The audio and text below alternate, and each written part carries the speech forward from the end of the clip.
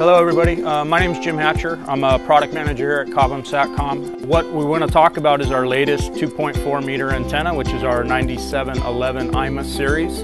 Right here is our C-band circular linear switchable feed. And what we've done is we've added a cool new feature on our dual antennas, and this is a KU band switchable subreflector and feed.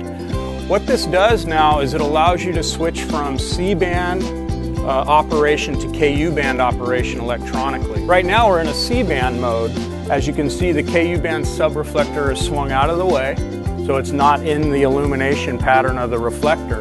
Electronically, this will switch and this will drop down into place right here, okay? Now this becomes your focal point here, and now it is in KU band mode. So as the signal bounces off of this subreflector, it now illuminates the entire surface. So you're utilizing the entire 2.4 meter uh, cross section of this antenna for KU band mode. And one of the cool things now is before what we would have to do is to switch from C band to KU band mode, you'd have to send a technician out on the vessel. They would have to remove the C band feed and the waveguide that populates it and he would have to come out and replace this with the KU band feed as well as the waveguide as well. And you'd have to be a skilled technician and it usually takes between four and eight hours to do that. We introduce uh, IMA electronics here, which we introduced first on our 4012 and, and XX12 series antennas.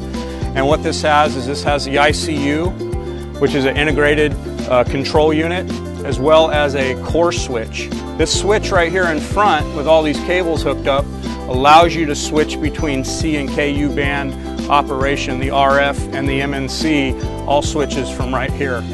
Uh, motor driver assembly up here, and then as you can see, here's your RF packages. Those should look uh, uh, very familiar.